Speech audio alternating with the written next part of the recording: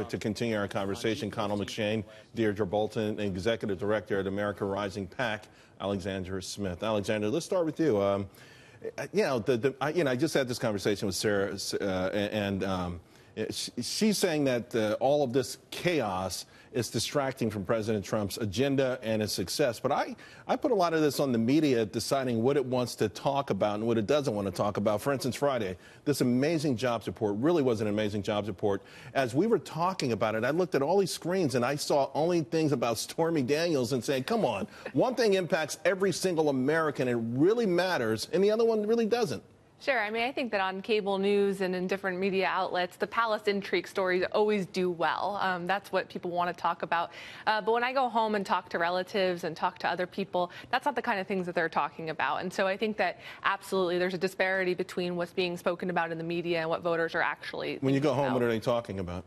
Um, I think they're talking about tax reform. They're talking about the fact that they're seeing more money in their paychecks, um, and they're they're excited by the economic growth that's happening under this president and the Republicans in Congress. I think that's what most people are. are yeah, and the president about. just made a very funny joke, right, with the Friends of Ireland. You know, everything but trade. Everything but trade. Everything but taxes, because you have them pretty low. They're at 13% corporate tax yeah. rate, and that's a lot of the reason why the president was trying to get our corporate tax rate lower, is because a lot of our tech companies were going to Dublin, setting up shop, yeah. saying, "Hey, this is our headquarters." So uh, yeah. I like the little comedic stylings yeah, at the end. But the, although the realistically, well they were renting like a room inside a building, right? I think one building had 29, uh, you know, headquarters or whatever. No, but legitimate. They did have workers, but much Yeah. fewer Yeah. than Yeah. than here. And 13% is a lot more agreeable to pay than our former tax rate for corporations, Right. which was 35%. So to your point, yeah, certainly And taxes. EU coming out, uh, perhaps, uh, and you, this is your beat, but uh, looking at uh, special taxes on these big tech names, in part, I think, to get you know that three percent tax. Maybe we could talk about that later at some Yeah. point. But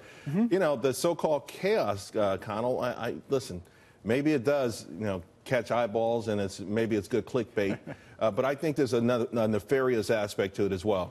Some weeks uh, more than others. I mean, I think some weeks are truly chaotic, and some weeks are exaggerated, to use the president's term from uh, from earlier. But Sarah Westwood, who was on with you earlier, did hit on a key point. Some some of this is managing it from the White House's point of view, and at times I think she's right that they have not done the best job of managing that in terms of if you want to if you want to control a news cycle, to use our terminology, that, yeah, maybe you want to avoid making an announcement or a tweet at a certain time and keep those things in control. I, I just got back from Pennsylvania and covering that uh, special election race out there. And the president, which is one of the things that I find interesting because I think maybe people are overreading this race and the result of it, the president's still very popular in that particular district in Pennsylvania, at least from the people I'm speaking to. And I think the polls uh, pretty much bear that out. But Conor Lamb in and won that district, and he did it, you know, by being a different type of a candidate, but not necessarily by capitalizing on some sort of sentiment that is now anti-Trump that had Right. been pro-Trump. Right. So a lot of these things, to your point, do get um, kind of overplayed a little bit. But um, at the same time, there there have been some weeks like we've never seen in terms of staff changes, and you forget what happened on Monday by the time you get to Friday. There's So no doubt there's about that. The so-called news cycle is uh, it's you know it's not 24 hours. You, you know you can measure it before in days and you measure it in minutes. these, these- but again, we never had a a, a, a, um, a businessman in the White House, and we saw this even on the campaign trail.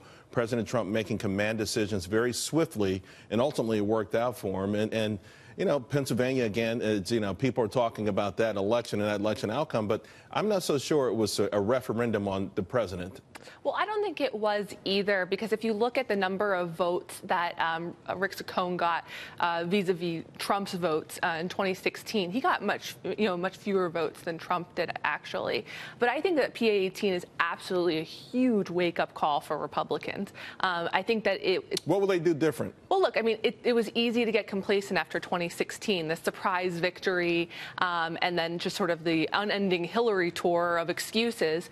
Uh, but then Right, you but will to- they will they move closer to President Trump or further from President Trump? Well, I think that the one thing you really have to account for is it renewed democratic enthusiasm. Um, there's Yeah. a real grassroots effort out there um, that's excited, that wants to be involved and is mobilized, um, and they certainly did so in, in PA 18. Yeah, it'll be, come down to can- it always comes down to candidates, but I think there is something to that in Pennsylvania Right. 18 that we really learned is that Conor Lamb was a good candidate uh, for that district, and even though the president won it by 20 points, I spoke to um, a woman there yesterday, for example, who was out and said uh, that he was a better candidate. It's a simple way of saying it, but he was a better candidate in this district than Hillary Clinton was in 2016. Simple as that. So he won back voters that might have been registered Sure, and trended towards sure. the Democratic Party for years, then didn't want to vote for Hillary A Clinton. in charismatic 2016. former So- Marine, prosecutor, Yes. pro guns, anti abortion, pro tariffs. I Yeah. mean, he spoke the Trump language for yeah, sure. and even House Speaker Paul Ryan saying, like, listen, this guy is a unicorn, but also admitting that it does need be, to be.